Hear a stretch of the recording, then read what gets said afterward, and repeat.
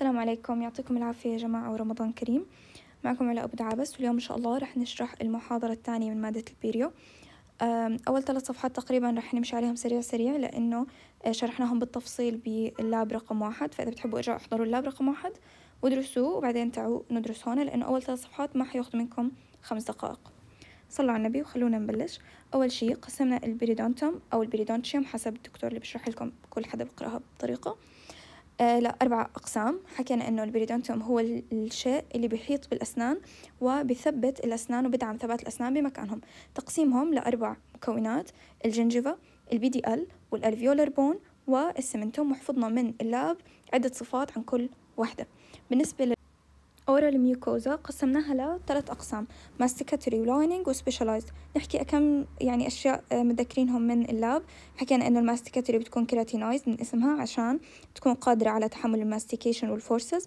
حكينا إنها آه، بتتضمن ال palate وال gingiva ال lining mucosa حكينا إنها بتنقسم حسب آه، موقعها ل alveolar mucosa و buccal mucosa و labial mucosa وحكينا إنها non keratinized لأنها ما فيها forces يعني مش معرضة لل force وال specialized من اسمها إشي مميز بهذا المكان هو ال tongue إنه فيها taste bud مش موجود بمكان تاني.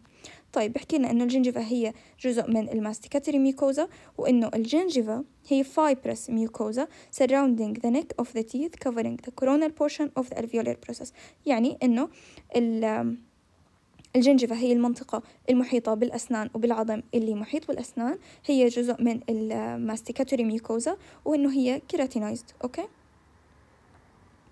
بنحكي عن ال gingiva. قسمناها لثلاث أقسام برضو. حكينا ك anatomically في free gingiva و attached gingiva و interdental gingiva. ال free gingiva هي الجزء اللي مش ملزق بالسن اللي بنقدر ندخل فيه ال probe.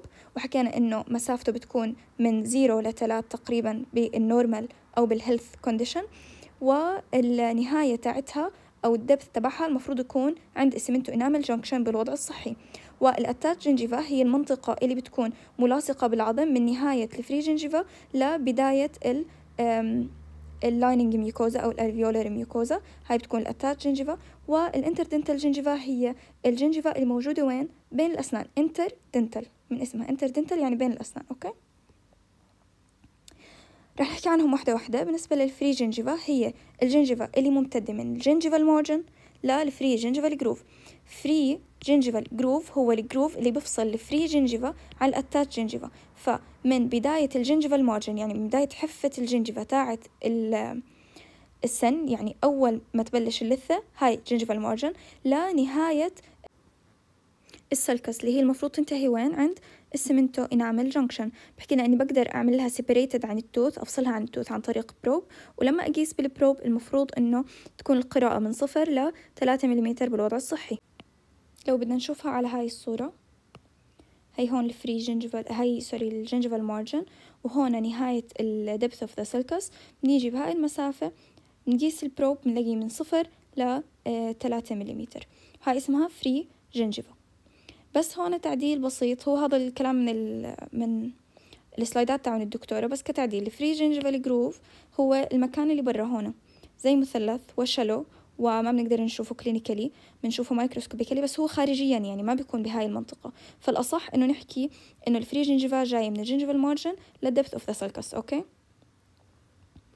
نفس الكلام هون إنه ال gingival sulcus لما عرفها بال slideات بيحكي لنا إنه هي ال space بين ال free gingival groove and tooth surface الصح هي من ال free gingiva لل tooth the surface هاي هي المسافة اللي بنسميها gingival sulcus يعني المسافة من هون ال free gingiva لسطح السن. هاي هي ال gingival sulcus برضو حكينا إنه ال clinically بال normal بالحالة ال health بتكون من 0 ل 3 ملم طيب ال attached gingiva هي ال gingiva الممتدة من ال free gingival groove لل mucogingival junction ال free gingival groove هو ال groove اللي بفصل بين ال free وال attached بعدين ال mucogingival junction هو ال junction اللي بفصل بين ال mucosa وال gingiva attached okay؟ فال المسافة اللي بين هدول الخطين هي ال attached gingiva. Except on the palate ليه؟ لأنه ال palate أصلا ما في free gingiva. هو مجرد attached gingiva. بس gingiva متصلة بالعظم direct ما في إشي free بال palate okay؟ بيحكي لنا إنه firmly attached لل bone وال tooth متصلة بشكل قوي بالبون والتوث و تتحمل الماستيكاتري فورسز والتيث برشنج عشان هيك هي بتكون إيش؟ keratinized. عشان تتحمل القوة تاعة تفريش الأسنان وتاعة ال mastication بيحكي لنا إنه ال attached gingiva prevent movement of marginal gingiva. يعني ال attached gingiva لانها واصلة كتير منيح وماسكة كتير منيح بال tooth وماسكة كتير منيح بال bone بتمنع إنه ال marginal gingiva تكون طايرة بالهواء زيادة عن اللزوم. يعني إنها تتحرك بشكل قوي. لا بتضل ماسكة بمكانها لإنه ال attached gingiva بتحاول تثبتها بمكانها. الشغلة الثانية بدنا نحكي ال width varies in different parts of the mouth and increase with age. إيش يعني أصلا ال width طيب هاي المسافة هي ال attached gingiva. ال width هو طولها من آه، من ال coronal لل apical هيك هذا اسمه width okay؟ فبيحكي لنا إنه ال width بيختلف حسب نوع السن. هل هو incisor هل هو molar هل هو premolar هل هو أن يعني anterior آه، أو هل هو maxillary آه، أو mandibular وبيختلف حسب العمر. كل ما زاد العمر كل ما زاد طول ال attached gingiva. ولكن شو بالنسبة لنوع الأسنان؟ بيحكي لنا إذا كنا maxillary وطلعنا عليها buccally يعني طلعنا عليها من برا من هنا بنلاقي إنه ال incisor مسافة أو ال width تبع ال attached gingiva كبير. شوفوا هاي المسافة كلها هاي attached gingiva فكبيرة. بالمقابل لما نطلع على ال premolar هنا بنلاقيها المسافة أصغر شيء مقارنة بال maxillary teeth كاملين. إذا أوسع شيء وال widest بتكون عند ال incisor وأقل شيء بتكون عند ال premolar إذا إيش ضل؟ ال molar ال molar بكون بالنص. إذا incisor أوسع شيء وال premolar هو أقل شيء. okay؟ okay بالنسبة لل mandible بنلاقي إنه ال incisor هم أصغر إشي. بعدين بالترتيب بصير ال premolar أوسع. بعدين بيروح على ال molar بيكون أوسع إشي. بس وين؟ lingually لما نطلع عليه من جوا. إذا لما نطلع عليه من جوا. بال mandible ترتيبهم بيكون كالآتي. ال mandible بتكون أكثر شيء بعدين ال premolar بعدين ال incisor. ال maxillary بتخربط أكتر ولكنها بال buccal ما بنطلع عليها lingual. بكون أكتر شي ال incisor بعدين ال molar بعدين ال premolar. هم حفظ okay؟ okay. بدنا نحكي عن ال keratinized gingiva ال keratinized gingiva free و attached المفروض إنه تكون تجميعهم سوا 2 ملم أقل شيء. في عنا free gingiva المفروض تكون أقل شيء 1 مل وال attached gingiva المفروض أقل شيء تكون 1 مل هل هدول المعلومات دقيقين؟ لا. في عنا بامتحان ال perio سنة ثالثة إجانا آه، صورة perio probe داخل بال free gingiva والسؤال كان كم طول ال attached gingiva بال بالصورة؟ وكانت zero لأنه كان نهاية ال probe بداية ال mucogingival junction وبداية ال lining mucosa فكان الجواب صفر. فهل ال1 ملم at least هاي دقيقة؟ لا. ال free gingiva هل دايما at least تكون 1 مل؟ لا. لما نفحصها مرات تكون صفر مرات تكون آه نص مرات تكون أقل. عشان هيك كنا نحكي قبل شوي ال sulcus من zero لثلاث ففي zero فهدول المعلومات مش دقيقين ولكن احفظوهم okay؟ طيب بحكي لنا عن ال width وال thickness ال width حكيناها من بداية ال attached gingiva لنهايتها من وين؟ من ال corono-apical يعني إيش إحنا نازلين نزول أو طالعين طلوع المهم هاي المسافة يعني. ولكن ال thickness هي من بداية ال attached gingiva لبداية العظم. وين؟ bucco-lingual بهذا الشكل okay؟ الخط الأزرق اللي موجود هون. تمام؟ مين أهم بالنسبة لنا ال width ولا ال thickness اللي بهمنا أكتر شي هو ال width ليه؟ لأنه إذا كان أقل من 2 ملم رح نلاقي إنه بيؤدي ل recession و inflammation مع التفسير العلمي لهاي النقطة. لأنه لو إجينا هون كانت ال attached gingiva بتخلص هون وخلص هون ببلش ال lining mucosa بتكون العظم أقرب لل source of inflammation لأنه شو هو ال source of inflammation ال biofilm أو ال ال plaque biofilm ال plaque biofilm بيكون أقرب للعظم بيكون أقرب ل ال PDL ولل attached gingiva وال junctional epithelium فهذا الشيء بسبب إنها يصير لها recession أسرع ال inflammation ينتشر أسرع يصير bone loss bone loss و bone resorption بشكل أسرع. okay. وصلنا لل interdental gingiva أو إلها اسم تاني interdental papilla شو اللي بحدد شكل ال interdental papilla عنا ثلاث نقاط. أول شي شكل ال cemento enamel junction بين السنين هو بحدد شو شكل ال papilla اللي بينهم. الشغلة الثانية ال width تاع ال proximal surface يعني ال central incisor المسافة بينهم أو ال proximal surface بينهم إشي كتير بسيط لأنه ال proximal surface صغيرة. بالمقابل ال molar شوفوا كل هاي بتكون proximal surface يعني هون كان في سن وأنا خلعته. وبين لي المس... الصورة اللي أنا شايفها يعني زي كأنه مقطع عرضي لقيت إنه ال proximal surface تبع ال molar كبير وعريض. عشان هيك شكل ال interdental papilla بيختلف عن ال interdental papilla الموجودة بال centrals والنقطة الثالثة ال contact relation between teeth لو في space بينهم غير عن لو في contact منيح بين الأسنان. فلما درسوها لقوا إنه عندنا بال anterior شكل ال interdental papilla بيكون pyramidal يعني لو أنا شلت ال incisor اللي هون راح ألاقي إنه شكل اللثه أو ال interdental papilla شكلها مثلث. بالمقابل لما آه شلنا سن molar عشان نشوف شو ال interdental papilla شكلها بين ال two molars لقينا إنها فيها depression اسمه col. هذا ال col بيوصل بين ال buccal papilla وال lingual papilla وهذا ال depression بيكون non keratinized ليش non keratinized لأنه غير معرض لقوه هو مش م... مش مبين أصلا على ال oral cavity و والنقطة الثالثة اللي هون حكيناها إنه هي بتتعلق أو بتتأثر بال relationship بين الأسنان شوفوا هون لما صار في spacing بين الأسنان أو إذا كان في missing teeth رح نلاقي إنه inter papilla اختفت interdental papilla زي كأنه صار لها punched out زي كأنه إجا حد وقصها فشكلها بيعتمد على الثلاث نقاط اللي حكيناهم هون. هسا هاي الفقرة مهمة جدا جدا جدا. هي ال clinical feature لل normal أو healthy gingiva كيف لما أشوف لثة أعرف إنه هاي اللثة صحية و normal وطبيعية وإنه هذا الوضع هو اللي أنا لازم أشوفه بال ideal أو بالناس اللي ما عندها أي مرض باللثة. الشغلة الأولى هي ال color لونها. اللون الطبيعي لازم يكون pink إلا في حالتين أو استثناءين حكيناهم بال lab شو هما؟ أول شيء ال racial pigmentation أو ال physiological إيش يعني؟ يعني الناس اللي عندها pigmentation عندها ميلانين زيادة زي بعض الأعراق زي الأفارقة زي الناس السمراء. في بعض العائلات خلاص عندهم الميلانين زيادة باللثة فبنلاقي لونها زي هيك. هذا اسمه racial pigmentation النوع الثاني أو الاستثناء الثاني هم الناس المدخنين. بيصير عندنا حالة اسمها smoker melanosis يعني الميلانين زاد عند الناس المدخنين ال smokers فهدول الاستثنائين إذا مش موجودين المفروض يكون اللون pink بالحالة الصحية. الشغلة الثانية ال contour إيش يعني ال contour يعني كيف يكون شكلها حوالين السن يكون scalloped outline شو هي ال scalloped يعني هيك. هذا ال scalloped outline لازم يكون موجود. إذا كان punched out زي كأنها مقصوصة أو كانت مثلا rolled منتفخة أي إشي هذا بيكون not normal okay؟ أو abnormal الشغلة الثالثة ال margin ال margin لازم تكون knife و thin knife edge يعني زي حفة السكينة تكون كثير thin ورفيعة ومتصلة بالسن بشكل منيح مش بعيدة عن السن. ال structure تبعتها لازم تكون stippled إيش يعني stippled هيك stippled stippled زي كأنها قشرة برتقال.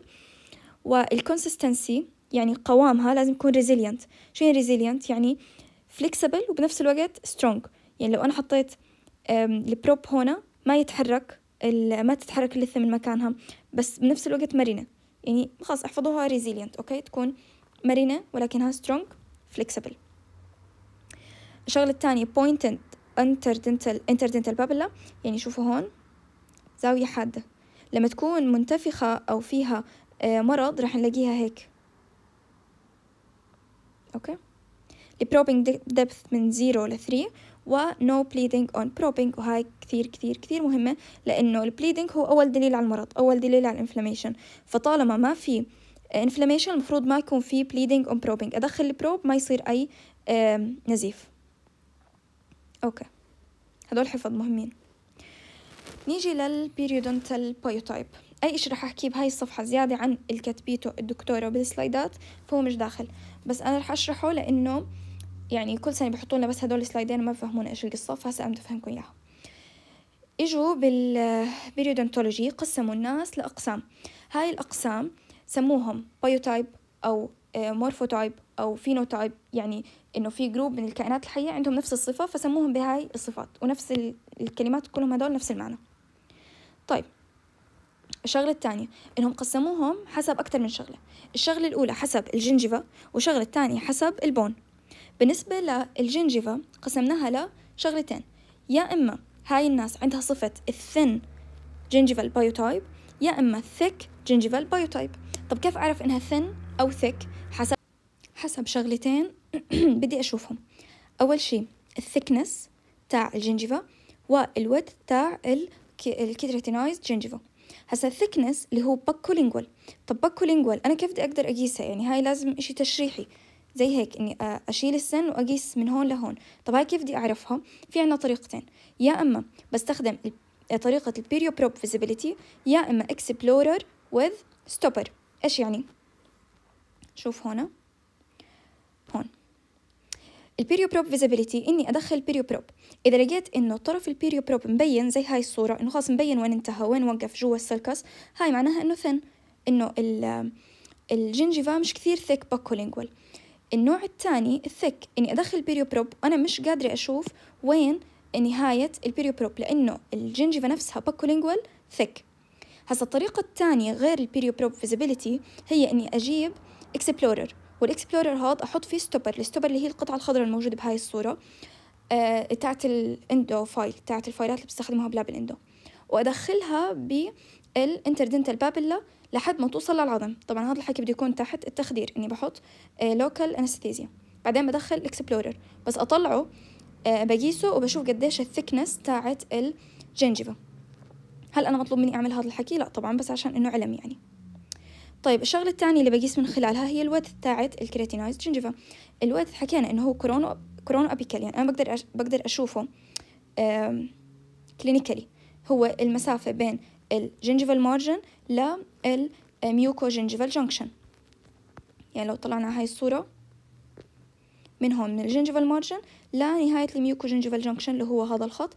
هاي المسافة هي ال width أنا آه، بقيسها وبحكي له إنه هل هي thin أو thick بناء على هدول النقطتين ال width وال thickness تمام؟ تمام. خلصنا من أول نوع من أنواع التصنيفات.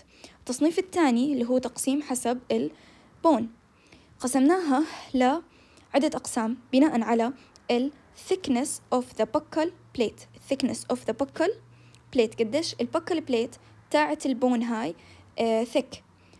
لما عرفها عرفها إنه هي المسافة بين ال bone interproximally لل bone mid facial يعني المسافة من ارتفاع ال bone interproximally لارتفاع ال bone وين؟ بال mid facial. هاي ال fa... هاي مسافة هاي ال facial وهون ال mid بالمنتصف يعني منتصف السن. المسافة اللي هون بدنا نقيسها.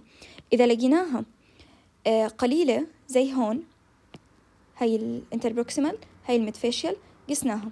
طلعت اثنين point واحد أو أقل بنسميها flat إذا طلعت اثنين point eight أو أكتر بنسميها scalloped.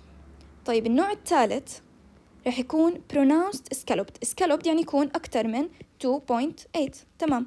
ولكن شو يعني pronounced scalloped pronounced يعني بارز. بارز يعني شوفوا وين ال buccal plate تاعت ال bone وشوفوا السن وين واصل. كتير بارز عن ال buccal plate تاعت ال bone. فهو مش بس scalloped إنه أكتر من 2.8 لا هو pronounced scalloped ممكن يوصل ل 4.1 أوكي اذا pronounced scalloped أكتر من scalloped و scalloped أكتر من flat لما فحصنا آه، الناس وقسمناهم لصفات بناء على ال gingiva وال bone لقينا إنه أغلب الناس بتجمع صفتين سوا. يعني لقينا إنه ال flat دائما بيجي مع ال thick وال scalloped عادة بيجي مع ال thin وفي ناس عندهم ال pronounced بتكون المسافة أكتر من 4.1 آه، أوكي حكينا هون flat 2.1 scallop 2.8 و pronounced scallop بتوصل ل 4.1 وهون تلخيص للي حكيناه. يا جماعة أي إشي هون زيادة عن المكتوب بال آه بالأسود فهو مش مطلوب. بالنسبة لل histo ال histo عندنا two main type من ال tissue عندنا نوعين من الأنسجة عندنا epithelium و connective tissue المسافة أو الشغلة الفاصلة بين ال epithelium وال connective tissue اسمها؟ اسمها basement membrane فهون في عنا ال epithelium layer وعندنا ال connective tissue layer كيف نعرف إنها connective على طول أول ما تشوفوا الأوعية الدموية بنعرف إنه هاي connective tissue ليه؟ عشان فيها أوعية دموية تغذي ال epithelium layer اللي فوقيها.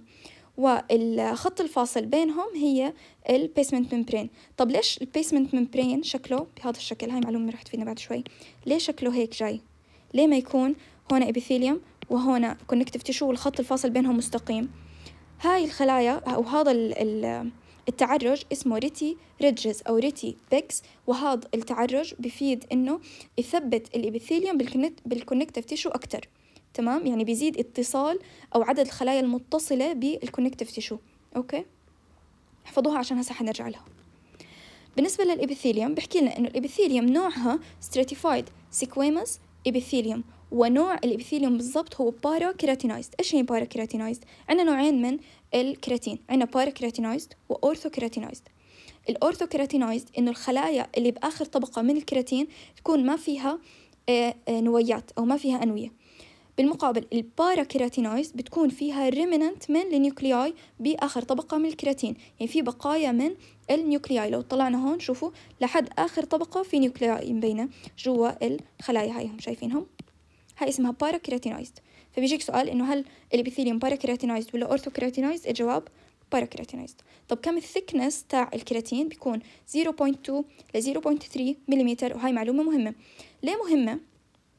بتفيدنا clinically لما نعمل عملية اسمها توريد اللثة يمكن أنتم سمعتوا عنها من قبل للناس اللي عندها pigmentation أو smoker melanosis أو الأشياء اللي حكينا عنهم قبل شوي بتصبغ اللثة بسبب زيادة الميلانين. بنعمل لهم عملية اسمها de-epithelialization technique أو توريد اللثة. هاي العملية تقوم على إزالة طبقة ال epithelium ويضل ال connective tissue ليه بنشيلها؟ عشان يتكون epithelium جديد وال epithelium هذا بيكون نظيف ما في ميلانين زيادة فبيطلع لونه وردي عادي.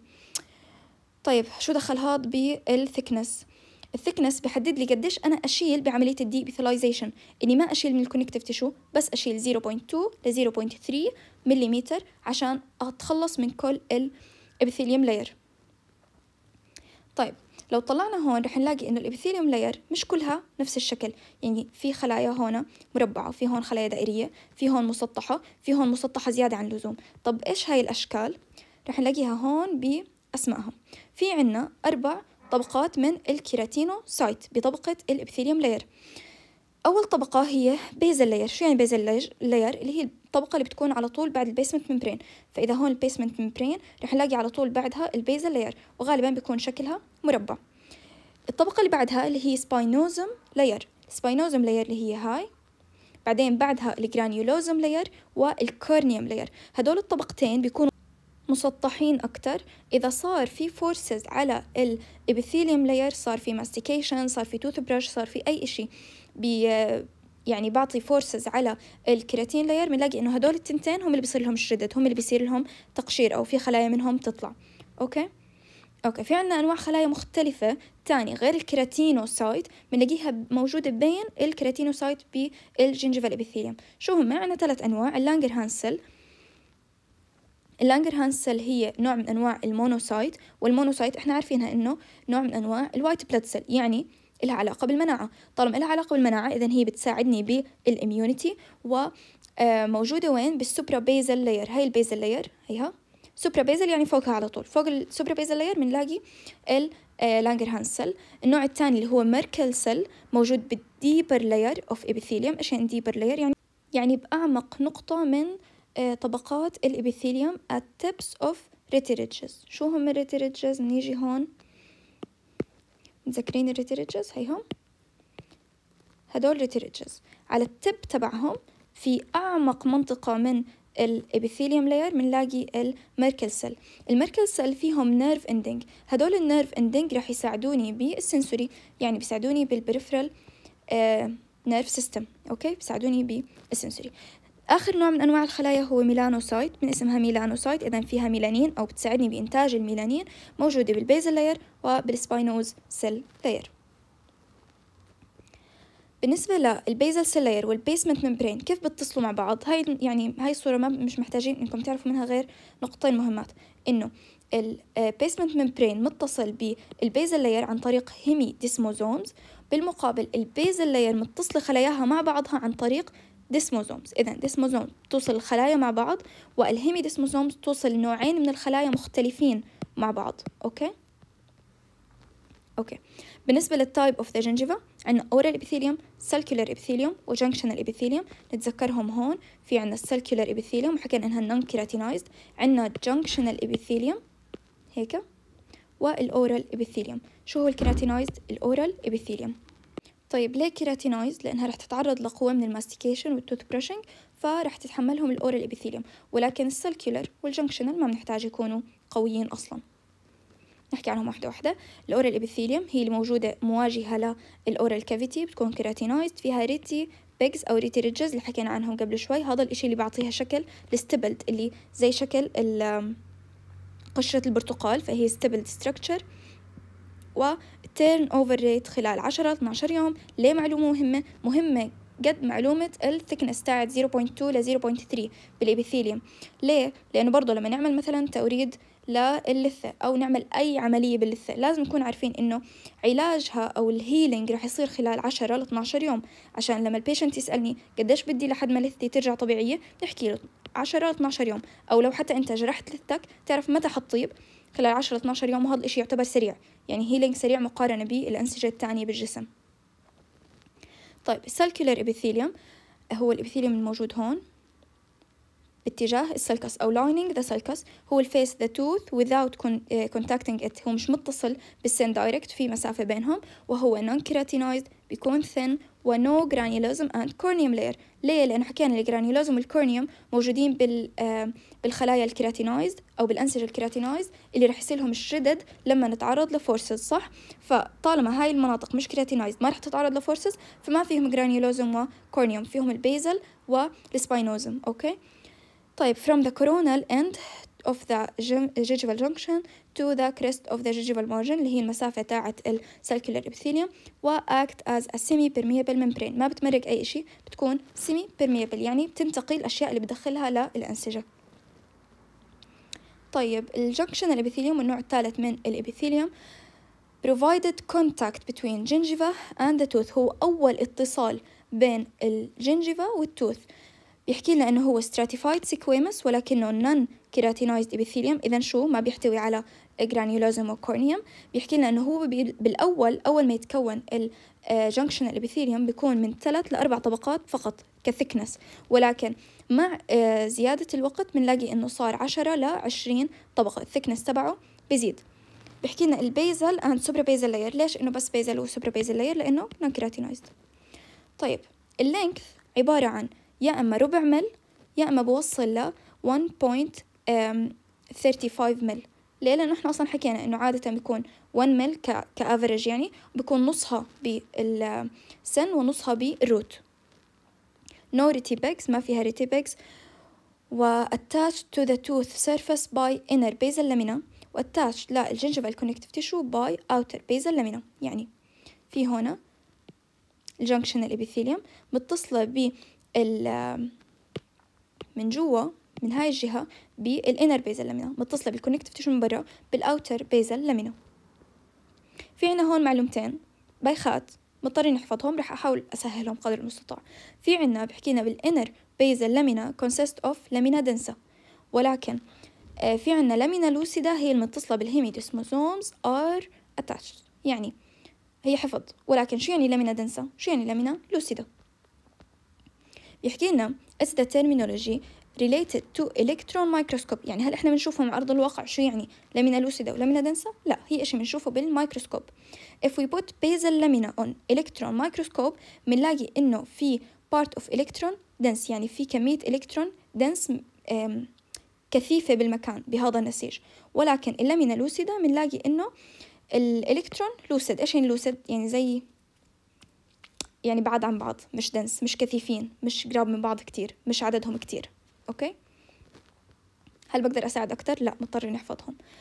The junctional epithelium is attached to cementum also by hemidesmosomes. وين حكينا ال hemidesmosome اللي بوصل بين ال ال basal lamina وال basal layer صح؟ فهو بيحكينا إنه كمان بال junctional epithelium بتوصل بتوصل مع ال cementum by hemidesmosomes إحنا نحفظ إنه الخلايا المختلفة عن بعضها بتتصل مع بعض ب hemidesmosomes والخلايا اللي شبه بعضها بتتصل مع بعض بال desmosomes نفسهم. جايين من وين ال junctional epithelium؟ جايين من ال reduced enamel epithelium اذا بسألك سؤال مين مصدر ال junctional epithelium؟ هو ال reduced enamel epithelium وهسه رح نعرفه بهاي الفقرة. ال embryology of the gingiva يعني بداية اللثة كيف تكونت. بيحكي لنا إنه بكون في ameloblast ال ameloblast هي الخلايا اللي كونت السن وكونت ال enamel. فالطبيعي إنه ال ameloblast تكون وين؟ على نهاية الإشي اللي كونته هون. okay؟ فهاي ال ameloblast تصدر طبقة أو بتكون طبقة اسمها reduced enamel epithelium. reduced enamel epithelium. فلو حكينا إنه هون الإنامل هذا في وراه طبقة هاي اسمها reduced enamel epithelium. reduced enamel epithelium لما يضل السن يطلع لفوق ويصير له eruption رح نلاقي إنه بيتصل مع الأورال epithelium. يعني بصير اتصال هيك وهيك عشان يبزغ السن من المنتصف. بيجي هون بيبزغ السن. ال reduced enamel epithelium اللي هون اتصلت مع ال oral epithelium اللي هون وال reduced enamel مع ال oral epithelium الجهة الثانية. فبيتكون إيش؟ ال junctional epithelium من وين تكون؟ من ال reduced enamel epithelium اللي كانت موجودة أصلا. بعدين لما يبزغ السن كامل بشكل كامل بنلاقي إنه صار عندنا junctional epithelium بالموقع تبعه. بال cemento enamel junction وفوقيه ال sulcus أو ال sulcular epithelium وال oral epithelium ضلت مكانها. الفكرة وين؟ إنه ال junctional epithelium بيسألك من وين إجا؟ بتحكي له من reduced enamel epithelium وال sulcular epithelium من وين إجا؟ بتحكي له من reduced enamel epithelium قديش بده وقت على أساس إنه يوصل ال junctional epithelium لمكانه الصح لل cemento enamel junction بيحتاج 4 years to fully develop. طيب شو ال function؟ شو الهدف؟ من وجود ال gingival epithelium؟ ليه ربنا وجد ال gingival epithelium في الفم؟ نوصل نحكي هاي المعلومة بعدين نرجع لل function بيحكي لنا إنه ال gingival epithelium هو ال important initiator و regulator و mediator mediator لل host immune response against periodontal pathogens. شو هي ال periodontal pathogens هي ال biofilm biofilm plaque ال biofilm plaque وين بتيجي؟ بتيجي على ال epithelium فال epithelium هو أول مكان بينتبه على وجود ال plaque أو ال biofilm وبيصدر إشارات عشان يبلش يعمل initiator و regulator ينظم و mediator يوصل الاستجابة المناعية. يوصل إنه ترى هون في آه، سبب للمرض في pathogens ويبلش المناعة إنها تفرز الخلايا وال cytokines وال growth factor enzymes وال adhesion molecule وال antimicrobial peptide كل هاي الأشياء. مين اللي أعطى إشارة إنها تبلش؟ مين اللي نظمها؟ مين عملها mediator هو ال gingival epithelium إذا وجودها مش عبث. فنيجي للنقطتين اللي تعدينا عنهم. بيحكي لنا إنها active production of cytokines adhesion molecule and growth factor enzymes وال antimicrobial peptide. إذا هي الشغل الجزء الفعال في إنتاج الأشياء اللي راح تفعل host immune response عشان ما تيجي ال plaque biofilm وتوصل على اللثة وتعمل أمراض وأنا لسه مش داري عنها. لازم اللثة تعمل initiator تبلش وتنتبه على وجود تبلش بال immune response وتنتبه على وجود ال pathogens الشغلة الثانية اللي هي protection اللي هي بتحمي ال underlying structure بتحمي الأنسجة اللي تحتيها بإنه هي semi permeable حكينا إنه هي ما بتعمل بتدخل أي إشي بال oral environment للأنسجة اللي تحتها. حكينا إنها semi permeable ما بتدخل آه، أي إشي. okay؟ okay. في عنا بال epithelium إشي اسمه extracellular matrix. هو ال matrix اللي موجود بين خلايا ال epithelial layer بحكي لنا إنه هي بتساعد بال cell adhesion إنه الخلايا تتصل ببعضها إنه الخلايا تتصل بال tooth وتتصل بال basement membrane إذا كيف ال epithelium بتصل بال tooth وبال basement membrane يتصل خلايا ال epithelium مع بعضها عن طريق ال extracellular matrix وبتساعدني برضه بإنه توزع المي والغذاء وال toxins على جميع النسيج.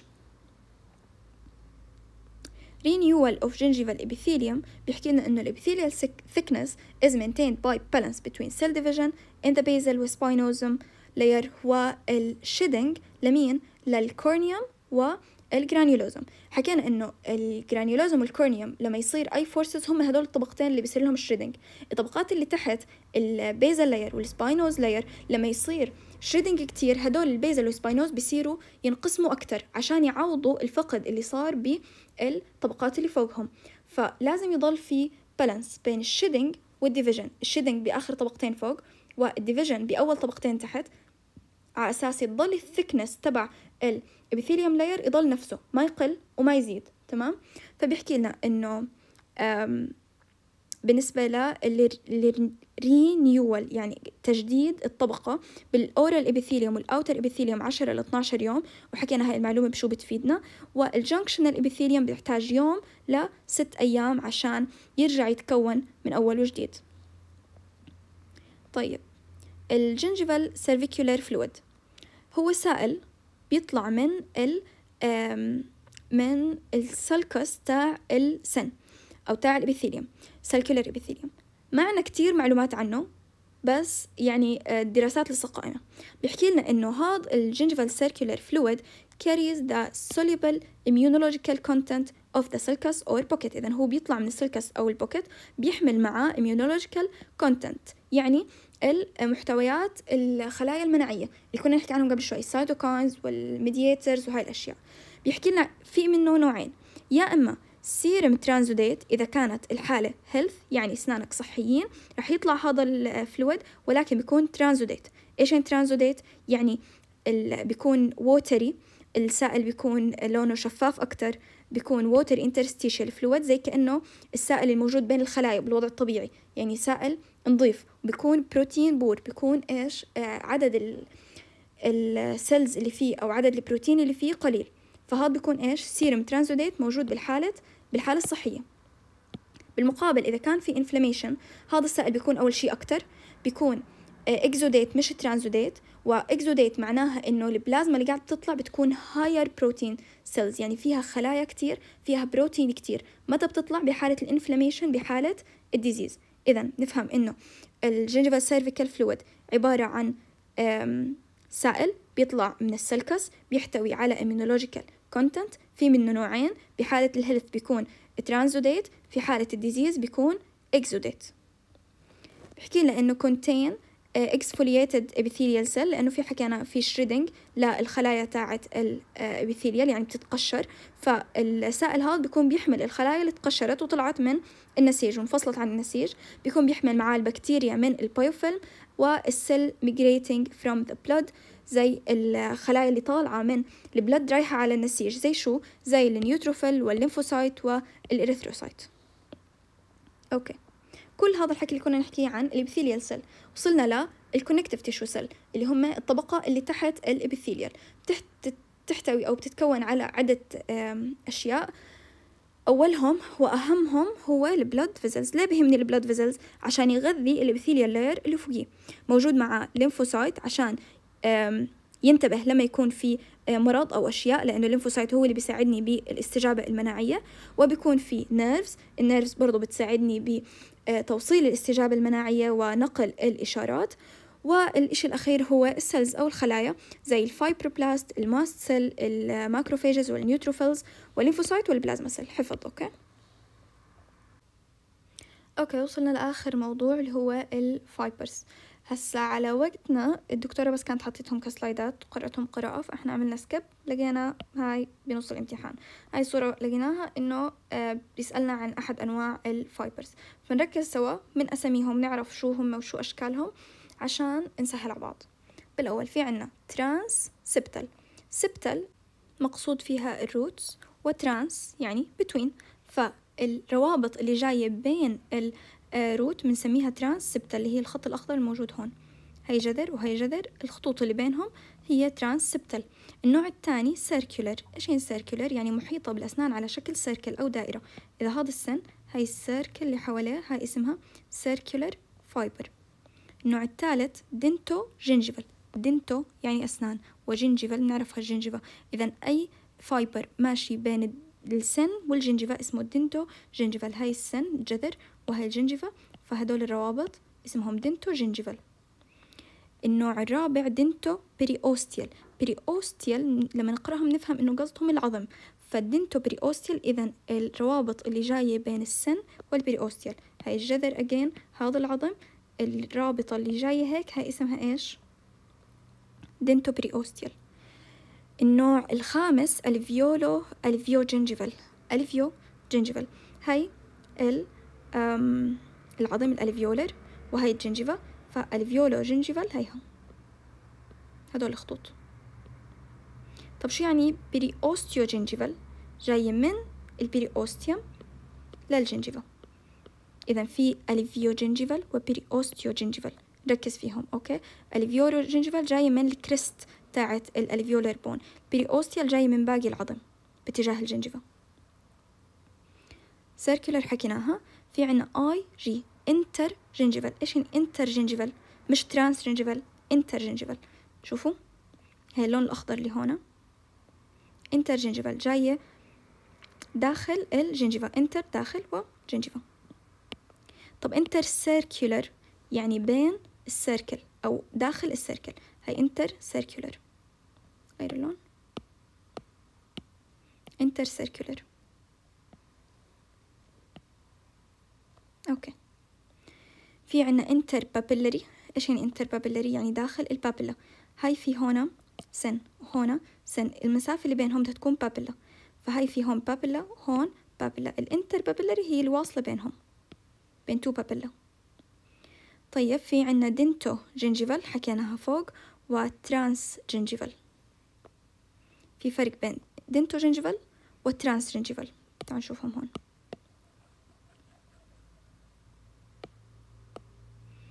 ال dento gingival جاية من ال gingiva للسن. طيب شو هي ال trans gingival جاية من ال gingiva لحالها؟ هيك. هي ماشية لحالها. بين ال gingiva تختلف عن ال inter gingiva إذا صار عنا inter وصار عنا trans gingiva وصار عنا dento gingiva آخر شي transseptal برضو حكيناها فوق okay؟ okay. طيب شو بنستفيد من هاي ال fibers؟ يعني هدول ال function بديهيات أكتر فممكن نحفظهم بشكل أسرع. بيحكي لنا إنه brace the free gingiva firmly against the tooth يعني brace brace يعني إنها بتدعم إنه اللثة الفري جنجيفا تكون firmly موجودة آه، حوالين السن ما تكون طايرة بالهواء. و reinforce attachment junctional epithelium للتوث بتساعد إنه junctional epithelium يكون ماسك منيح بالتوث لأنه إحنا عارفين junctional epithelium هو أول اتصال مع السن فلازم يكون ماسك منيح. الوظيفة الثالثة provide rigidity وإن هي تتحمل. ال masticatory forces لما يجي. masticatory forces لازم تكون rigid لازم تكون قوية و strong عشان تتحمل هاي ال forces والنقطة الرابعة unit free gingiva with the cementum of the root and bone. إنه ما تكون ال free gingiva هيك آه، بعيدة عن الكوكب كله لازم تكون آه، متصلة بشكل منيح مع الأنسجة اللي تحتيها. فعشان تكون ال free gingiva كوحدة واحدة مع ال cementum وال root وال bone والأنسجة الأخرى بتيجي ال fiber تمسكها بمكانها. والوظيفة الخامسة اللي هي connect adjacent teeth to each other لأنه حكينا كل سبحان الله يعني كل root و root في بينهم في بينهم fiber معينة وبين كل سن والسن الثالث بنلاقي في روابط معينة فما في سن جاي لحاله هيك. آخر شي ال extracellular matrix معلومات سريعة.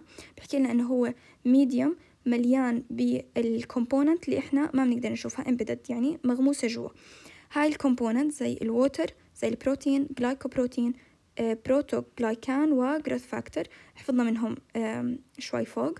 بيحكي لنا إنه في collagen type 1 و3 و4 و